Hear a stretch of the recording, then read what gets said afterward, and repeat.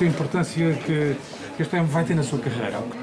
É o reconhecimento de um trabalho que já tem muitas décadas,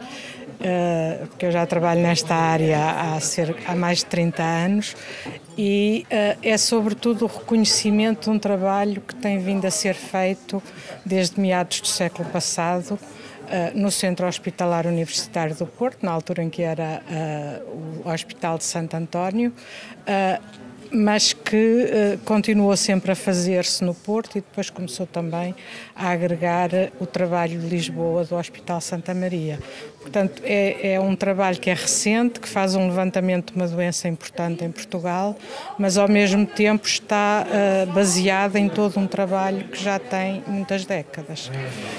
E, a saber qual é que é a relevância também de fazer esta investigação de medicina clínica, porque se der um termo que muitas vezes as pessoas não estão tão associadas. Esta, esta doença é uma doença que foi primeiro descrita em Portugal e que se considerava que era uma doença muito rara e uma originalidade portuguesa. E nós hoje sabemos que é uma realidade que está presente em todo o mundo,